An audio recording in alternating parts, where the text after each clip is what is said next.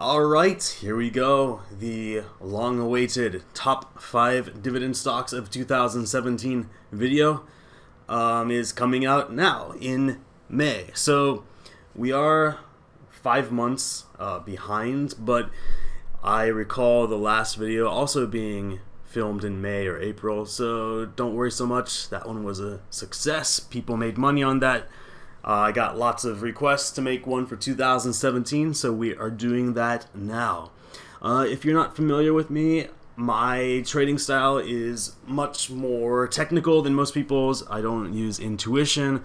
Um, fundamentals are important to me, but so are technicals, technicals that have statistical backing, um, the results of academic findings, back tests. I integrate all of these and if you are a person who respects this type of research prior to a trade please join me in looking at these dividend stocks. Um, you got to realize though that we cannot trade on every possible indicator. So what I'm going to do is even though I've put a good deal of research into all of the trades I'm going to be recommending today um, we're going to be looking at just a handful of indicators or a handful of reasons for each of these dividend trades. Um, my goal here, like my long-term goal, in case you don't know who I am, is to help people get out of whatever shitty financial position they're in. Um, I get emails all the time from people who have used my methods, made money or made money back um, after losing money with other methods they found in books or online. So that always makes me pretty happy. Um, eventually, automation is going to take over most jobs, and if you haven't found a skill to allow yourself to kind of get out of that system and, and make money your own way, you're going to have a lot of trouble in the future. Um, I think trading is a very good escape, and it doesn't require much time as long as you have a decent strategy, a decent system of uh, predicting which way a stock is going to move, um, and a good way of managing your money, you should be a decent trader. Um, if you're interested in in trading, because this video is going to be more of a dividend uh, long-term investment strategy, um, but if you're interested in uh, trading earnings, which is probably the best way to start out trading, uh, go to damonverial.com and sign up for my newsletter. I will send out my uh, weekly top trades. Um, for earning trade, if you on the long term are correct 55% of the time, the sheer magnitude of the earnings um, of the of the ROI from those trades can allow you to survive just by trading um, you don't need other tricky methods, but uh, once you get good, you will probably want to move outward. So let's start today with, um, well, first of all, defining what a best uh, stock is. After all, this video is called the top five uh, or best five, I haven't chosen a name yet, uh, dividend stocks for 2017. So we, we want to know what does that mean? Um, does that mean just purely based on expected profit for the remainder of 2017?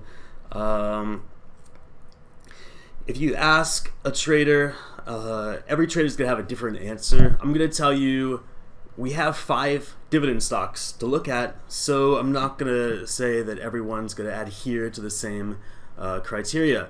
Um, we got high yield dividends, which are dividends that will pay you a decent chunk of the money you put in um, every three months.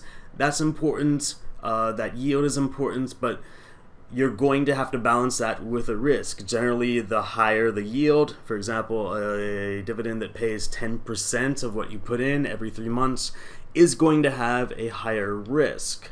There's also the question of growth. Is the company that you buy a growing company? If it's uh, in stagnation, that could work out for you if it's trending sideways and you're just collecting the dividend, but generally you want a stock that's going to be growing so that you're profiting both from the stock growth and from the dividend gains. Um, you're also probably going to want to look at the safety There's, of course, a trade off when you go for high growth and high yields. You're trading risk. You're taking on more risk for those types of positions. And uh, I also will be using a, a, I would say, kind of contrarian, anti sentiment uh, criterion for choosing these these dividend stocks. I like to choose something that the market says is is not gonna grow.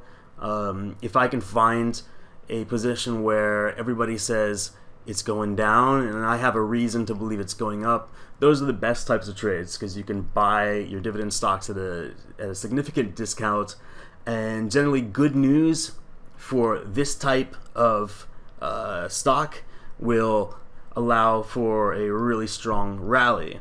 Um, if you're if you have a background in psychology or if you like psychology, you might have heard of cognitive dissonance, which is the idea of um, reality not matching your beliefs, and something's got to give. Either reality has to change or your beliefs have to change.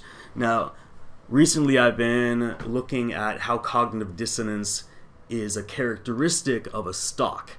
Um, in other words, does this stock act irrationally? And we're going to start out by looking at, at, at one such stock. And here we are. This is our first dividend pick. Um, okay. Let's see. I gotta switch to my camera. Alright, switching. I'm gonna switch the camera here. And here's our first pick. C or K R O. Crow. Crow. Um Alright, so if you're gonna be buying a dividend stock, what you're essentially doing is you're paying to hold a portion of the company, but you're also expecting that some of the profits that the company make makes is passed on to you. So generally you want to know how that company makes money. For this company, Kronos, um, well, let's start at what I said at the very beginning. We want to check cognitive dissonance. So um, I run back tests on these stocks to see whether they act rationally on news events. Um, if they act irrationally in specific ways, we can we can determine that that action is driven by cognitive dissonance in the investors. For example, um, let's say you have a stock that has been falling for a long time, like uh, GoPro. Let's say this stock has been falling um, for quite some time, and uh, you're holding on to it nonetheless. There's going to be a significant amount of cognitive dissonance you have to deal with because you have to explain to yourself why you continue to hold a stock that's made you lose so much money. Now, in this sort of psychology, in this thought process, in this mood, you're going to react differently to news than most people react. So, for example, on GoPro, maybe the first sign of good news for someone who's been holding during this huge sell off and hasn't sold in the middle somewhere. Um, on good news, you're going to overreact. That's cognitive dissonance. Um, cognitive dissonance could could be good uh, for you if you're going to be holding a high risk dividend stock but we're looking at today, well, at least for this pick, Crow is one of low cognitive dissonance. This is a stock that has been going up for a long time. Investors originally made their decisions to buy this stock and they were well rewarded.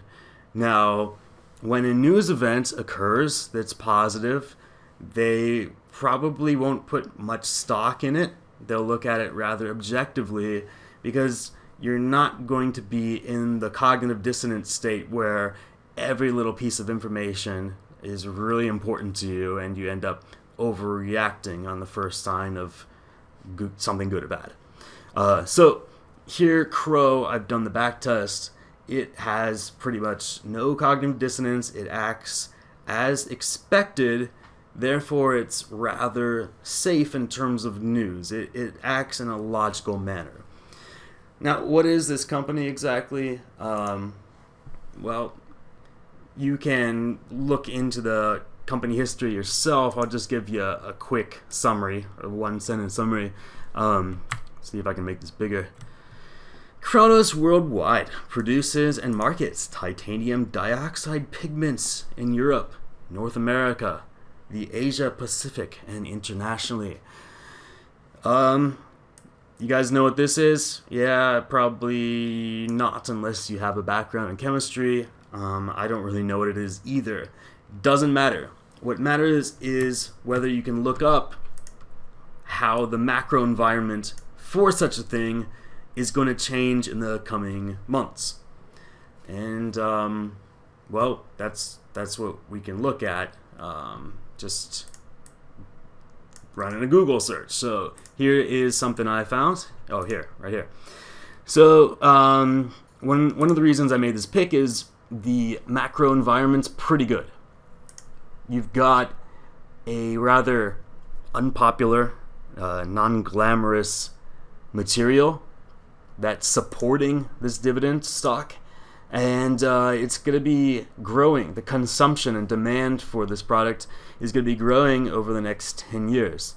So, although I call this a top dividend pick for 2017, you could easily hold this for much longer and uh, gain exposure to the gains in this general macro market.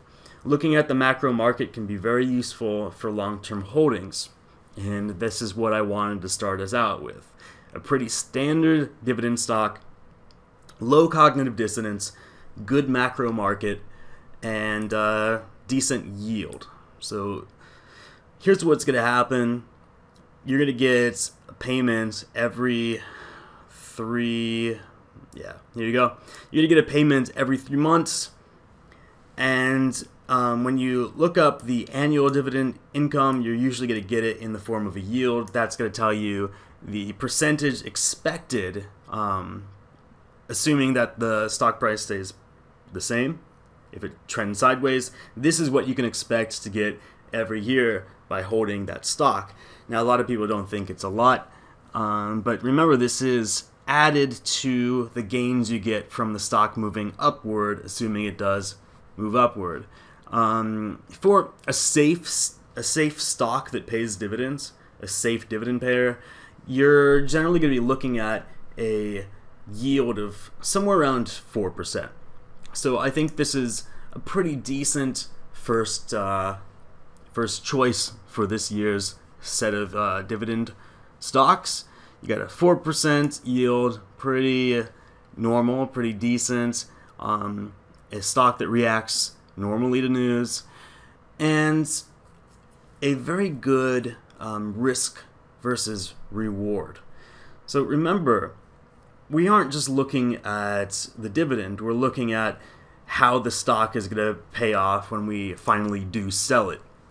Now, as you can see, Crow has been on a tear. It's been moving upward um, since the beginning of the year and we don't have any reason to believe that it's going to reverse. If we did, we'd be a lot more cautious with this one. But the macro environment's good. I mean, the back tests have looked good, have been looking good, and the uh, the other algorithms I run on it have said that it's a pretty good risk reward uh, choice. So let me queue up some code here, and I'll show you what I mean by that. Give me one second. So I have a lot of code that I program myself because there's a lot of unanswered questions I have about stock. You can't always get every indicator you want to look at through a site like stockcharts.com, although I do think it's a great website. You can look at a lot of technical indicators here. Um, in Seeking Alpha, you can gain a lot of fundamental information. But ultimately, if you are going to go full time, you're going to have a lot of questions about stock that can't be answered by anyone but yourself, and that often requires calculations or your own backtests. Now, here is a pattern recognition algorithm. Um, let's see here. I'm just going to grab this and drag it over so you can see it, hopefully, or not. I guess I'm going to have to save it and then open it. Um, here we go. The reason I'm, I'm, I'm keeping everything on one window, by the way, on a separate window, I don't know what I saved this as, is um, I'm opening a software company soon. So a lot of this code, not this code, um, but a lot of my other code that you might see here will be exclusive to my clients. Um, so I, I, just can't, you know, be throwing it on YouTube. Where did this go? Our plot. Alright, so this is really troublesome. Here's what I'm going to do. I'm going to open a Word file. Bear with me, I got this sorted out right, right now. Here we go. Um, Word file. Just open a new Word. Alright. So here's what we got. For the stock you just saw. Here are the predicted movements based on where we are in what the machine perceives to be a pattern. Might not be an actual pattern, but it's always good to take a look at something you trust, something that has shown you in the past to be reliable um, as to where we're going from here. Now, um, what we're looking at is the difference between the max and the min. These are the predicted movements over the next 100 days of this stock KRO. Um, obviously, from a 50% gain that we've had since the last 100 days um, to 170% gain is a lot more desirable than this downside, which is 100% downside. So you just compare the the upside to the downside and in many cases when I'm not really 100% sure on the I'd say the the characteristics of the stock, I'll just go with an objective machine learning algorithm. Um, so what this is telling us is that we have 120 upside and 100% uh, 100% downside versus 120% upside. Clearly, the upside is larger than the downside. Uh, if you have a better way of looking at the upside versus downside, and generally you do in the short term, but for the long term, I just go with a, a machine learning algorithm.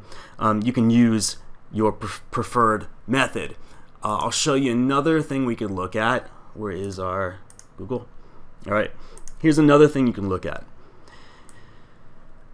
The uh, price to earnings versus the price to earnings of the industry can be indicative of where or how far um, the stock will move when the market moves. It's not beta that you might be familiar with, but what it, it generally tells us is the potential for an unexpected rally. And this is something we know from backtesting. This is something that's very important when you make earnings trades too. Now, we see that there's a slight upside bias for Kronos and that's pretty much what the the algorithm just showed us, right? Uh, we've got 120% on the upside, 100% on the downside, and that's, I mean, we don't have that huge of a difference between uh, our stock's PE and the industry's PE, but it's slight enough to where we were tilted in in the upside. Um, we're tilted in favor of the upside. Now, for a lot of dividend stocks, we don't have to care so much about the future cash flow valuations. And for a lot of financial stocks, actually, it's wrong to look at those, so I would um, ignore that. Anyway, this is our first pick. I just wanted to give you something decent and safe and uh, something where the macro environment is pretty reliable and uh, clearly in our favor. I don't think the global titanium dioxide market is going to change drastically. Not that I'm an expert in it, um, but it's just a material. It's a very simple macro environment to analyze. All right, let's go on to something more mundane, perhaps something more popular or desirable for the average investor who likes uh, stocks that they've heard before. Let's go. What do we look at first? Um, we will here. We'll go to. We're gonna use Stock TA, which is another, which is another really good plotting tool that's online and free.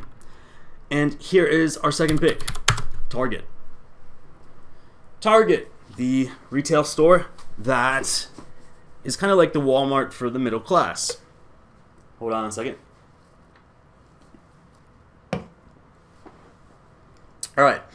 So, well, uh, Target clearly hasn't been doing that well. Um, and a stock like this, like we discussed, often has cognitive dissonance, but my back tests on Target show that it's okay. It doesn't have that much cognitive dissonance. It reacts pretty logically to news. So, and why is this important? We're really just trying to ensure that the volatility isn't larger than expected. Volatility, by the way, is the expected move in a stock.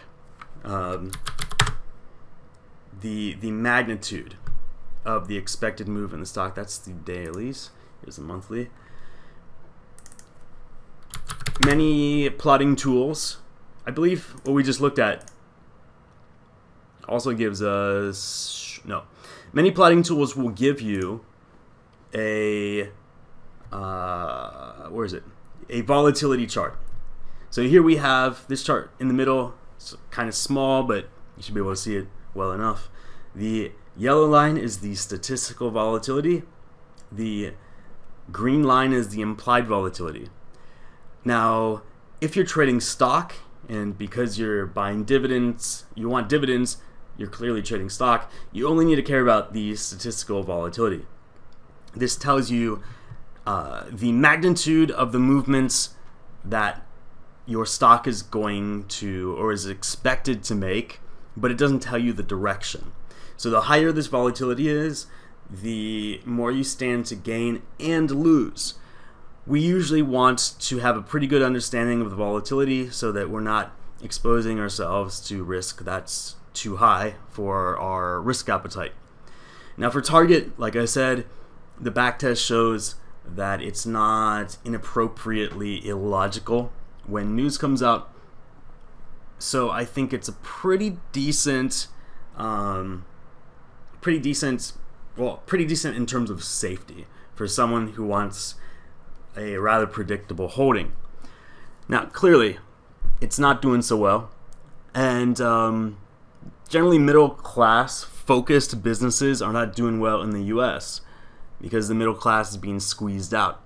You got a lower class that has a lot of businesses catering to it, such as Walmart, WMT, which is doing well. Um, and you've got you know luxury classes that are selling high-end retail, like Tiffany. Um, but then in the middle, you got Target being squeezed out. Everybody knows this, and this goes back to what I said at the very beginning we want to be on the side that seems a little bit crazy. We want when, for example, if we're at some sort of mystical cocktail party that I always hear about, um, and someone says, What kind of stock are you holding? and you say Target, we want everybody to gasp in horror because of the ridiculousness of your choice. Target doesn't have positive sentiment at the moment. That's good because it means on any good news, it will probably rally a bit harder than it should. Um, but on on bad news, well, bad news is expected, which is why, by the way, we didn't really see any cognitive dissonance in the back test. Uh, bad earnings is expected, and we do get gaps like these.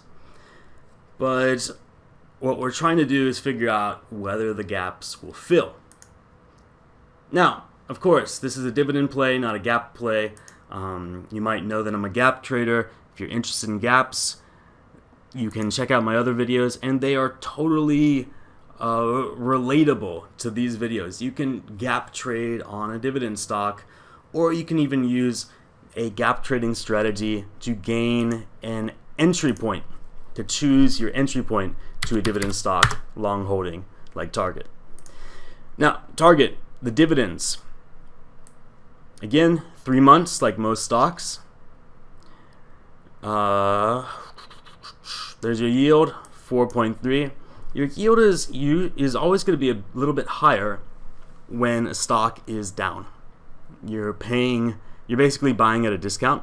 So even though the dividend is the same, the income relative to the money you spend is going to be higher, and that's good. You want to buy um, at a at a higher at a higher yield yield when you buy it. So a lot of dividend players wait for dips and then buy in. Now, as you can see here, DPS, dividend per share, this has been increasing for the past 10 years. A lot of companies care a lot about keeping their dividend stable. So even if they go into debt, um, even if they they hit some debt issues like Target's hitting now, you see how the red's above the green. Even if they're in debt, they might just for the sake of sustaining the dividend and keeping investors happy, take out a loan to pay that dividend. Now, obviously, this is not good for the bottom line of the company, but it's good for you, the shareholder, who will continue to collect a growing dividend um, and can sell when you detect real danger. Now, notice insiders have been buying Target despite the negative sentiment, despite the downward momentum. So something good might be coming up, and this is, I have to admit, one of the reasons I'm pointing this stock out to you. Um, statistical research has shown that when insiders buy, the stock is more likely to increase. It seems like common sense, right?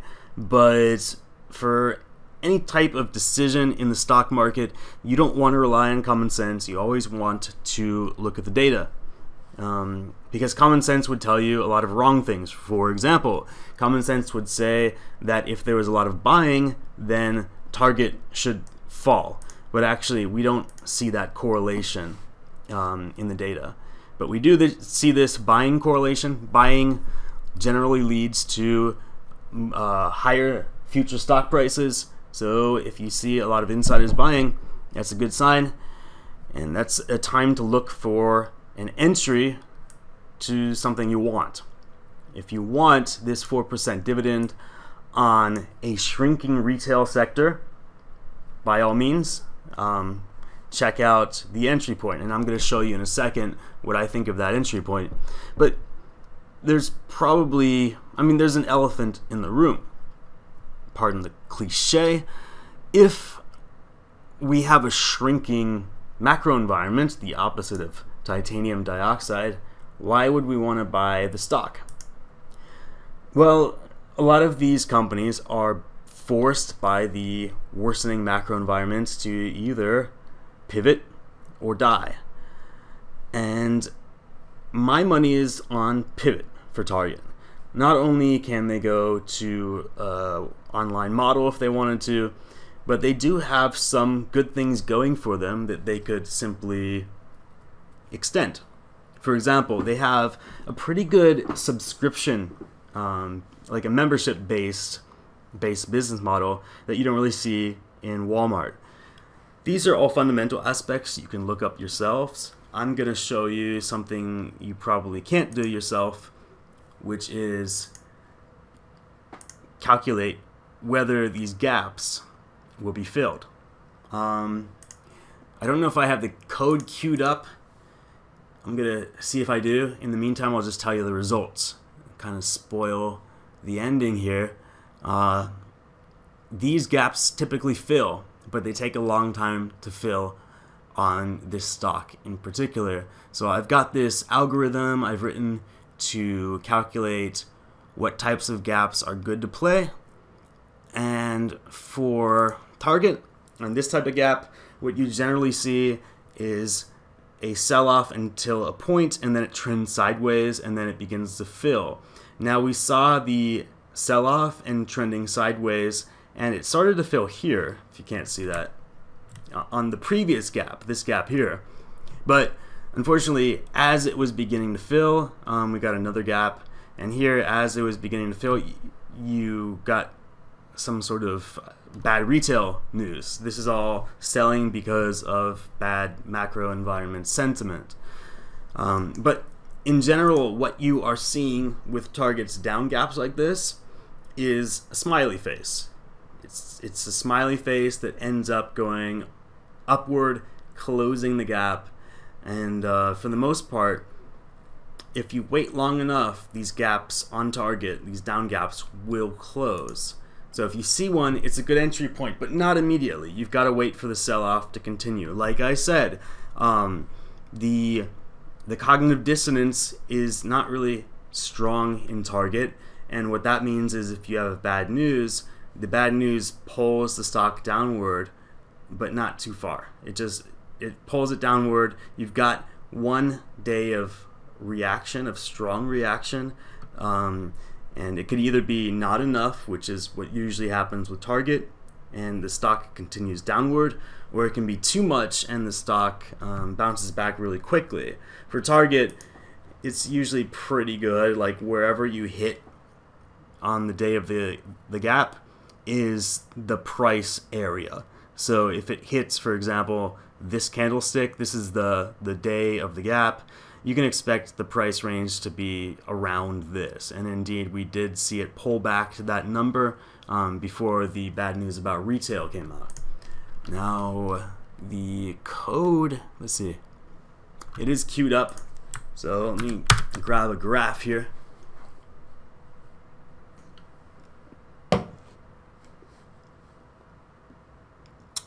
Okay. Here is what my gap algorithm says. Why is this over here? So there we are.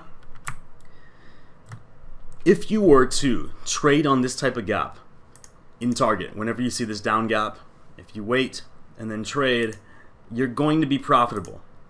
You're going to be profitable by the law of um, large numbers. By playing this enough, you're going to make your gains um, uh, overtake your losses, and you see this overall return performance that has some steep um, jumps upward and also downward, but in the long run, you're in this positive sector, and it looks like uh,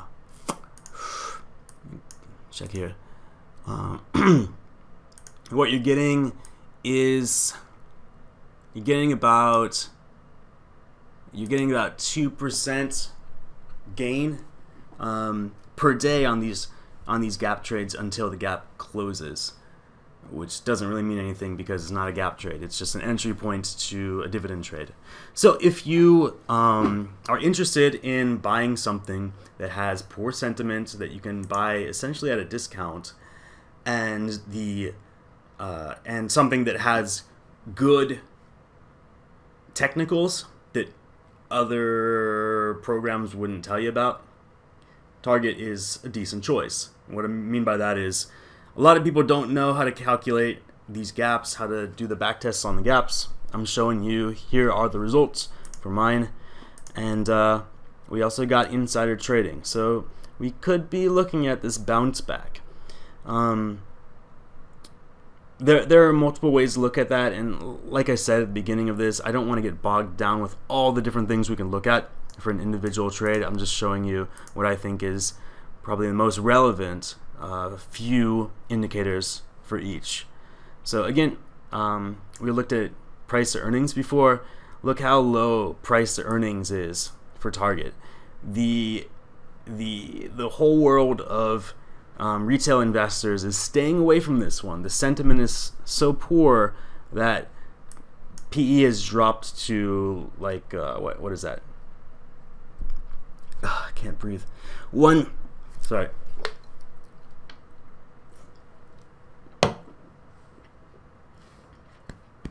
Sorry about that.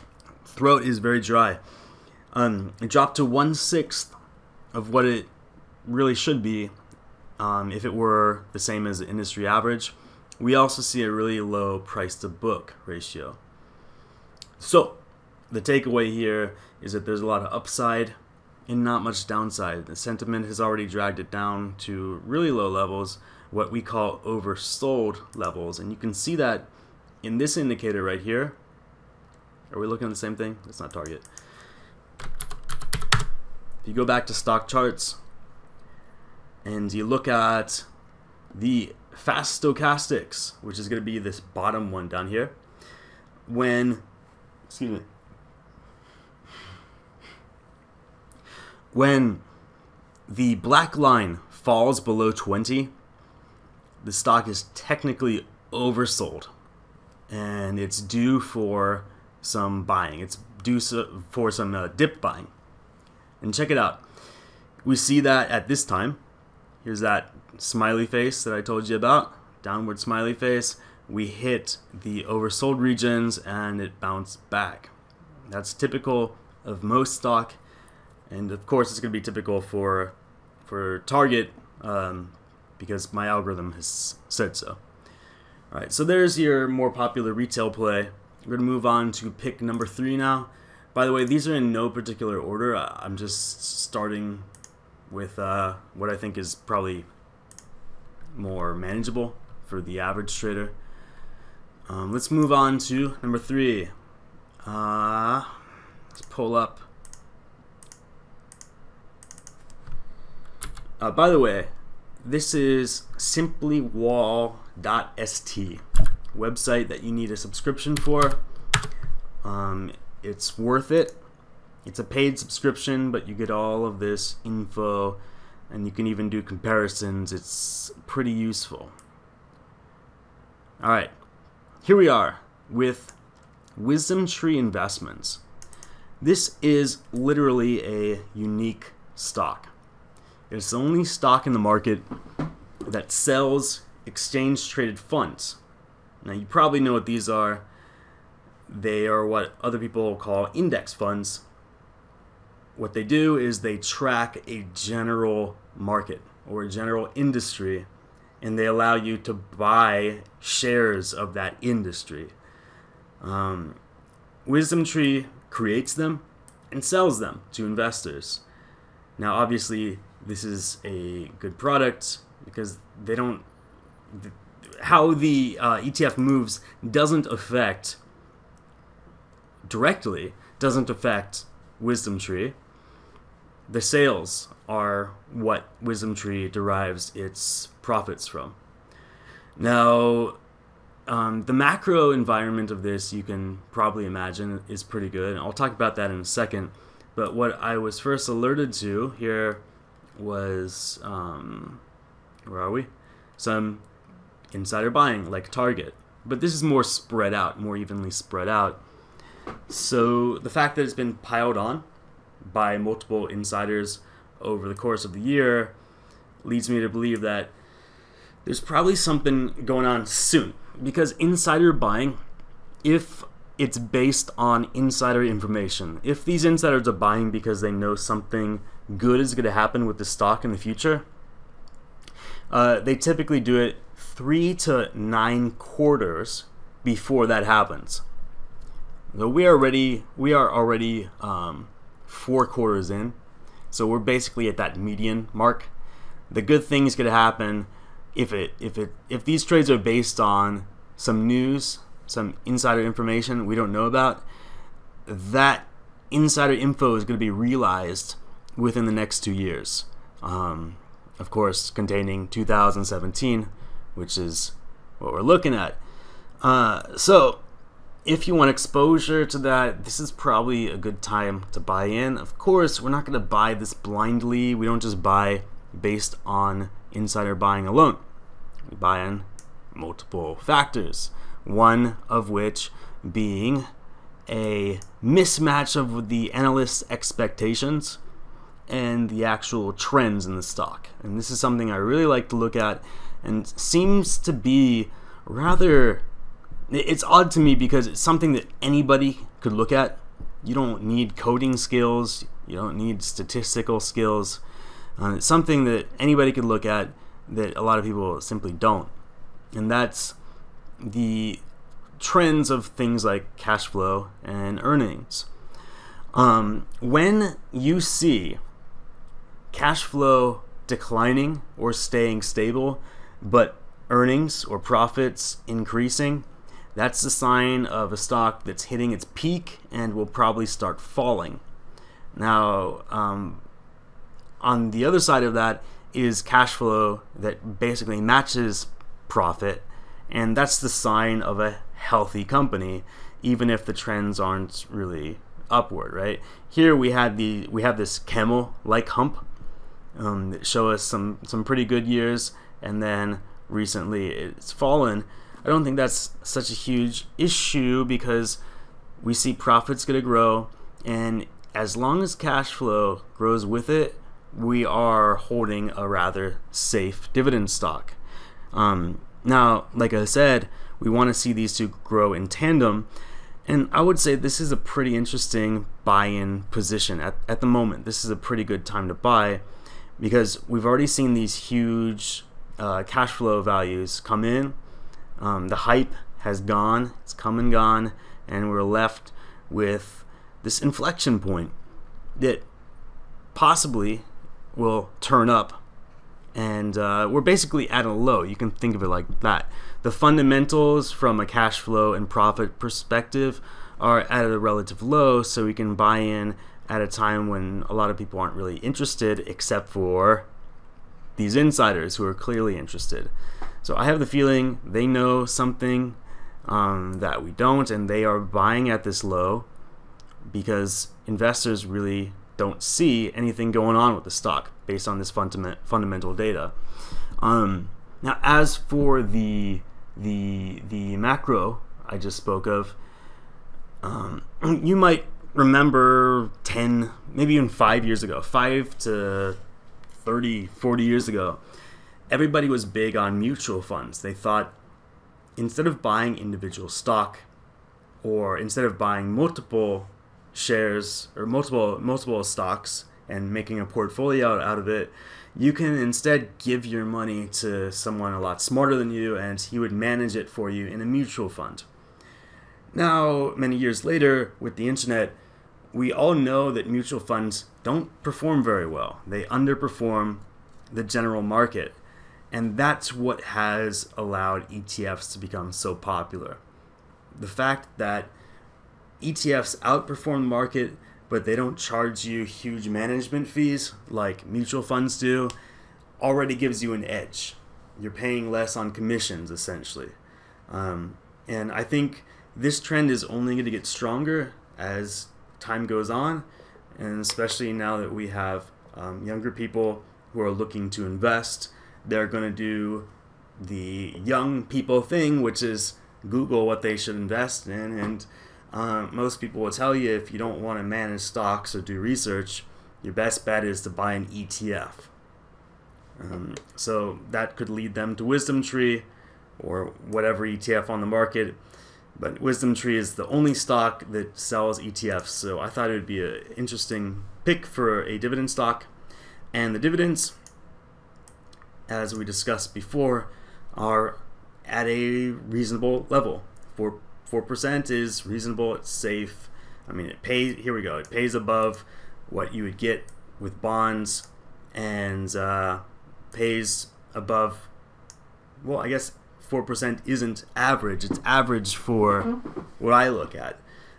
The average dividend fund is uh, or stock is paying out three percent annually. Um, Am I am I forgetting something? No, no, no. So it's paying out three percent annually, and we're basically at that level. So yeah, that's that's your average. You got your insider trading. Um,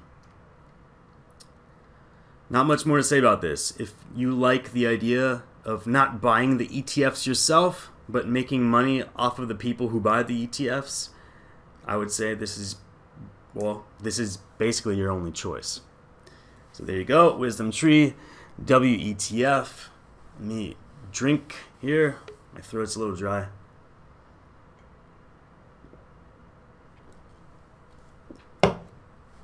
All right. So by this point, you're probably saying, Damon, I'm not here for all of these tiny 4% dividend stocks. I want something that pays me more. Um, it's going to be hard to do that. But remember, what we're doing is we're looking for dividends plus growth and also possibly dividend growth. Otherwise, there's really no reason to buy stocks. Um, I always say the only reason to buy stocks is for dividends. If you don't, uh, sorry, if you're not looking for dividends, then play options. It's a lot smarter. But here's something that might be more fun and more, uh, I would say, fast paced. Maybe that's the right word. If you're a young whippersnapper and you cannot you cannot stand waiting three months to get your dividend payments, check out something like CRT. Cross Timbers Royalty Trust. This pays you dividends every month. Much like the what was it, titanium dioxide, it's based on something that's easy to analyze, even though it's hard to predict. It's based on um, well, it says oil and gas, but really, this is a natural gas player, so it's a bit different from oil and gas. Oil. Um, your dividend payout here is seven percent, and part of the reason for that is it pays dividends monthly. So expect to see some extra money in your account every month, and uh, be happy that you're getting basically double what other dividend stocks are paying. Now, like I said, gas here, gas is different from oil. You can't analyze them the same way. Um, if I were to choose between a natural gas stock and an oil stock, I would be going, obviously, with a natural gas stock, which is why I'm recommending this. Here's one reason. This article points out that the experts in this field are predicting a peak in natural gas. So you probably remember, if you ever traded oil, you probably remembered all this hype about peak oil, and uh, a lot of people feel like they missed the boat on trading oil. Well, we haven't reached peak natural gas yet, so if you're interested, do a little bit of research on natural gas, and if you think that it's a good long-term holding, go and try out this uh, monthly dividend pair. It's it's pretty interesting, and uh, while you're not exactly investing in um, in well, you're not you're not buying futures. You're not actually buying the natural gas. You're buying a company that has to manage related issues um, so it's a bit more complex, but still you've you've gained exposure to that market. Um, another reason I'm saying to buy this now is like we saw with Target. This is oversold. It's a good time to buy in. CRT. If you look at the stochastics, we, we kind of sorry I, I, put all this together a couple days ago, but um, we didn't really miss the boat. But check it out this is what we call in the stochastic signal, this is what we call a buy signal.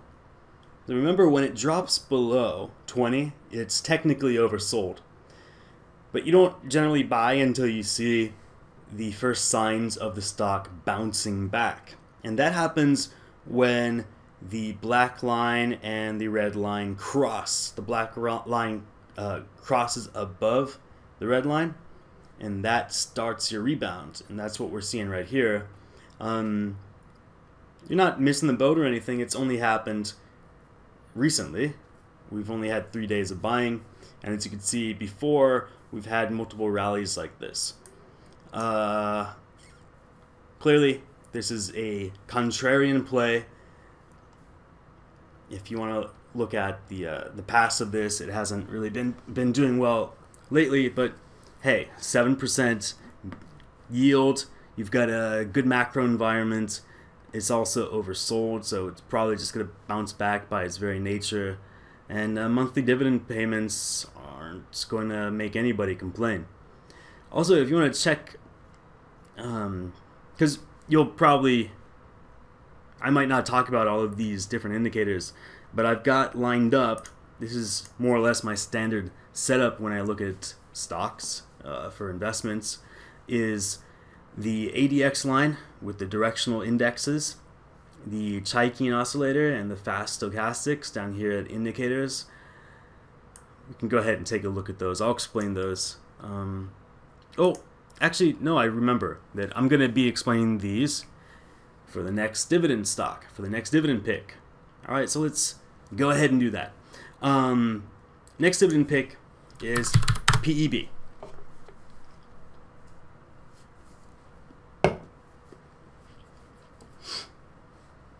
All right, PEB, Pebblebrook Hotel Trust. When you invest in what's called a REIT, a Real Estate Investment Trust, what you're doing is buying shares of real estate. You're essentially becoming an absentee landlord. Um, but you're doing it not for Joe Schmo with his little $200 a month rent apartment. You're doing it with whatever you want, which generally is something like, you know, like a medical facility or hotel. It's specialized. Now, our specialization here is also a contrarian play because a lot of people don't think that lodging or hotels um, is a good real estate sector at the moment. Um, yet, we see this stock moving upward. So there's a lot of reasons, or there's a lot of uh, ways to look at this and explain it, but I'm going to just go ahead and give you my forward-looking uh, thesis on why this is a good pick. Now, first of all, let's take a look at uh, the dividends. That's the point. Uh, for real real uh, real estate investment trusts, did the wrong one there. REIT. If you buy an REIT, you're buying. Did I do the wrong one again? Okay, this is right. You're buying. Um, you're buying something that's regulated in a different way than a company would be. So it's not treated exactly like a stock. A REIT has to, by the regulations, give the majority of its profits to shareholders. So you guys are collecting basically rent. It's not a dividend that's that's paid out by choice from the management. It's paid out by rule. Now we're looking at 5% for this one, which again is, is better than average. Um, but you got to realize we are in a, a, a market that has negative sentiment. Mm. Where did I where I see something that can sum it up? All right, forget it. We're not going to look at why there's negative sentiment because I'm not going to dismiss those claims. I recognize them and I agree with them. There is negative sentiment for the hotel real estate market at the moment. But I also have fundamental reasons why I would want to be long on on this uh, real estate investment trust that's focused on hotels. Um, let's say I'll say there's two reasons. All right. What else I got? All right. Yeah, yeah, yeah. I'll give you two reasons. All right. So the first reason is we have had an administration change. Now in the White House is a man who has made his profits through real estate, a lot of which were hotels. I have the feeling that a man like this is probably going to be good to the hotel industry. Um, and since the election, we we have seen a climb, although it doesn't exactly queue up with the election. But I really doubt that any lobbyists from the hotel or lodging um, sector is going to have any problems swaying the heart of the U.S. president to being good to this sector. Um, so there's a fundamental kind of abstract, non tangible reason we could be long on a sector that has negative sentiment. Uh, the second reason is when you look at a real estate investment trust, you want to know where the uh, real estate is. For PEB, it's it's all over the U.S. Um, we could probably pull up a map. I'm not sure if that'll be very informative, but I'll do it while I talk. Uh, if it's in the U.S. and we have uh, a lot of companies that are a lot of investors that are worried about the quote unquote forex issues, which means because a lot of American companies these days make their profits overseas, they upon returning the cash to the U.S., uh, they find that they don't have as much as they would have liked. Uh, while the business is good abroad, the U.S. dollar to whatever uh, is not a good uh, it's it's not a good currency exchange rate at the moment. And that goes for a lot of currency right now. So many investors are looking to invest in the U.S. But one problem with U.S. companies is a lot of U.S. companies are doing business abroad, um, and additionally, many investors for quite some time now have felt that there's not much growth left in the US. Um, the real estate sector is a sector that many people have uh, wet feet or cold feet, is that the phrase, to get back into because of 2008. So you've got an issue of fear. But the benefit here is because this company, I remember seeing a map, you can dig through it if you're interested because this company is mainly or 100% located in the US, it's all US real estate, we don't have to worry about the strong dollar. The strong dollar makes foreign investments weaker for our portfolio, but it makes uh, domestic investments stronger. And for this issue, we've got a strong dollar. And by the way, um, when you have a Republican president, historically, the dollar is strong during the course of his presidency. So we've got that historical aspect on our side. And again, uh, the president is probably going to be good to the hotel real estate sector. Okay, now back to what we were talking about before. The other indicators that I use as my standard for stockcharts.com.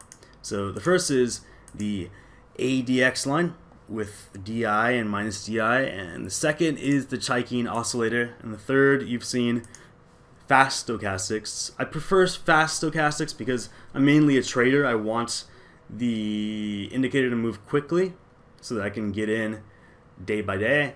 Um, but if you don't care so much about about time timeliness, what you can do is you can look at the slow stochastics, which by some people are considered to be more accurate.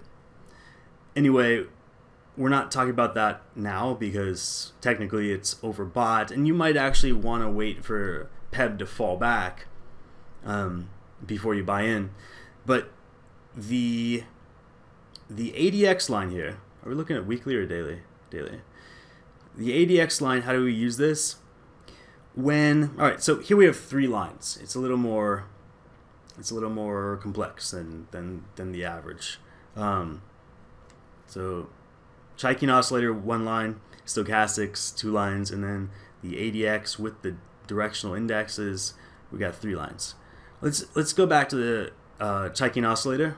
Just take a look at it because it's only one line. It's easy to understand, but don't put too much value in the actual numbers on the side here. The Chaikin oscillator just tells you where the money is going. Is it flowing in or is it flowing out? If it's in the positive territory, money's flowing into the stock. Um, negative territory, of course, flowing out. And the slope of the line tells you how quickly that's changing. Mm, so, at this point, if you can follow my cursor along, we see that money was flowing in to the stock and the flow of money was getting faster. Now the flow of money has slowed down a bit, but it's still positive. There's still money flowing into the stock. Don't be too fooled by the direction of the slope. Care more about where we are in the uh, positive and negative domains of this chart. All right, now let's look at the ADX line, and I'm going to need to take a drink real here.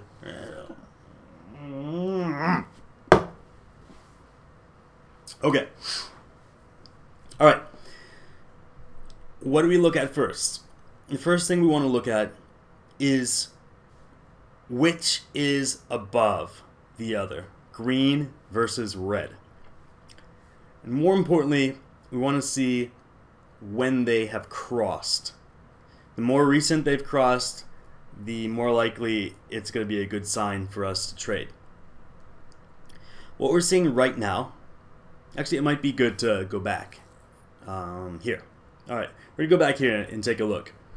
So we saw the red and green line were battling it out, and eventually the red line won, and it moved up above the green line, and it stayed there for a while.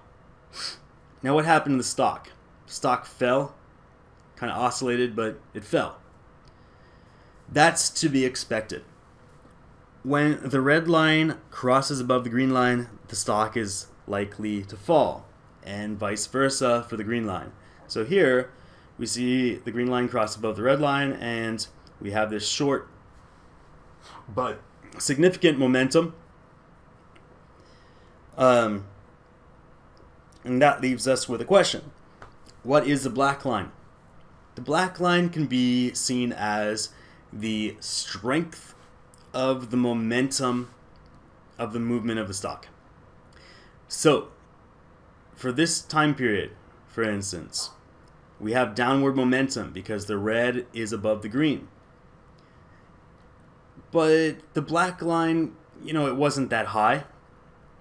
Um, so I wouldn't say there was any real decent momentum at that time. When you see the black line up and steady upward, like around this period, here, down here, you can check it out. Um, that's when you have momentum, and that's generally when you want to get into momentum trades. Now, when the black line is turning up, that's a good sign. Uh, it's not exactly, it's not exactly reliable, but the closer it gets to the green line, the safer I feel in making a momentum trade. Momentum trading is not exactly my forte, um, but if you're making an investment, momentum trading can be an important aspect of that that investment um, because it tells you that now is the time to buy. The dividend stock is going to be moving upward. Um, one issue that that just reminded me of is when the dividends are paid to you, they're paid to you in cash. Now, the problem with that is they're taxed as cash.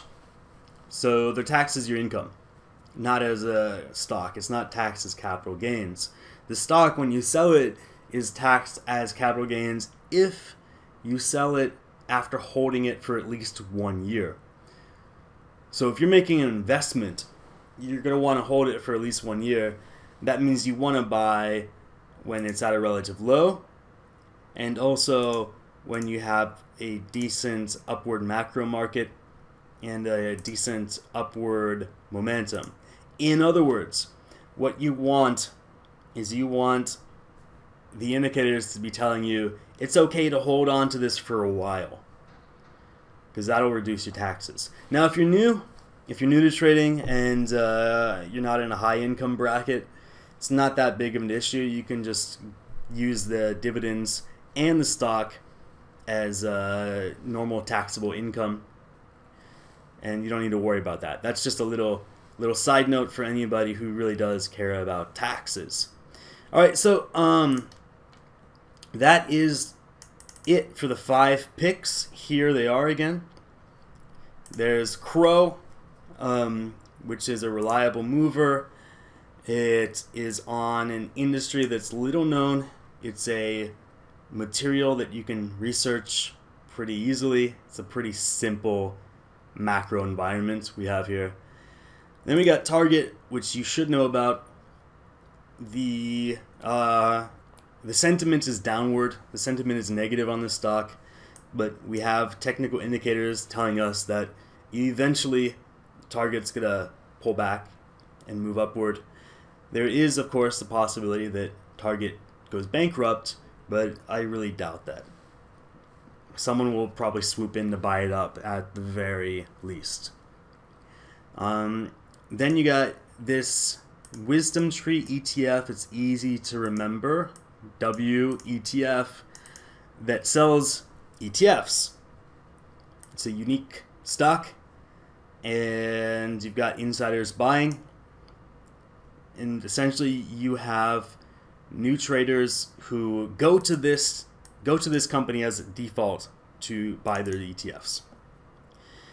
Then you got CRT, which is a bit of the wild card um, in this selection, in this ragtag team of five dividend stocks. It pays you every month. It has a high yield and it gives you exposure to a natural gas market that's going to peak within the next three or four years.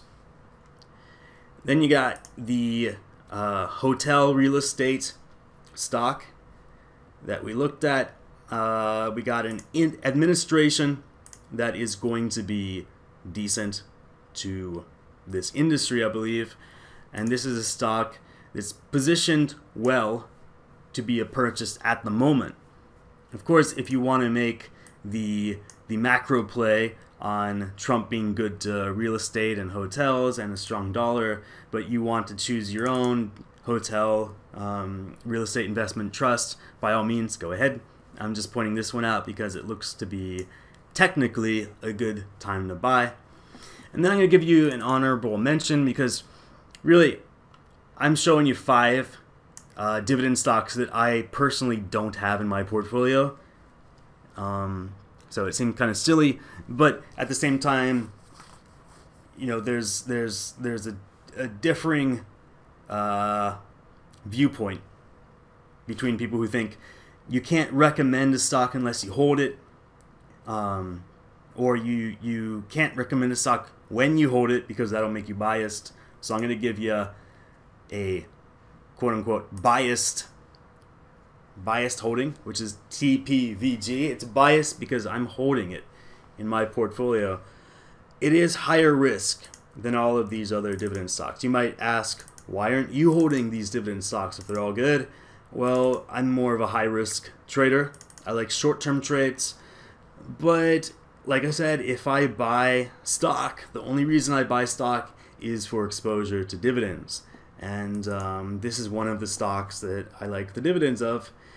It's not necessarily stock. It's called a closed closed-ended fund, TPVG, which means that the stock shares cannot be diluted. The company can't offer new shares.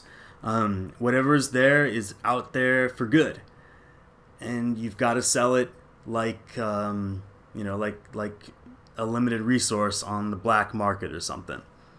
Uh, the company can't swoop in and say, "All right, we've made more shares, uh, now we can sell them," which hurts the investors because it drives the price down.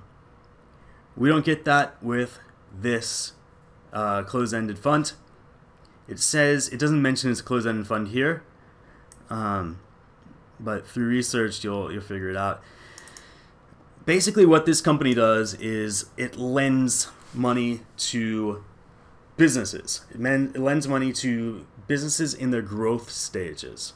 So you get a high risk reward uh, profile, uh, profile with this one because either the businesses do well and they grow a lot and they pay back their loans, which um, is good for us, or they don't do well and they go bankrupt and then, well, this company can't collect the outstanding loan. What I like about it is the high risk, which is paired with a high dividend. Um, in the stock market, the general rule is if you are willing to take a high enough amount of risk, you're going to be paid well. The question is, will you ever lose what you're holding. So here we are, a nearly 11% yield on a dividend stock. I love it. Um, even if you're not rich, even if you put in, let's say, $1,000, you're going to be collecting $100 at the end of the year, even if the stock falls. I mean, it's it's it's a good an, an, one way to look at a dividend is uh, downside protection. Right? If the stock, if you're looking at the stock as a growth stock and it doesn't grow, it can fall 10% and you're still not out any money. You've made money through the dividends, you're still even, even though the stock um, has fallen. So this is the honorable mention, just so nobody feels like I'm, I'm either hiding uh, what I own or I don't have skin in the game. You can do your own research on this one. I think it's a, a decent pick. I mean, you got you got decent upside. I've done all the analyses. I always do a gamut of analyses before I make a, a choice. Um, and of course, I can't show you everything. It would just take too long.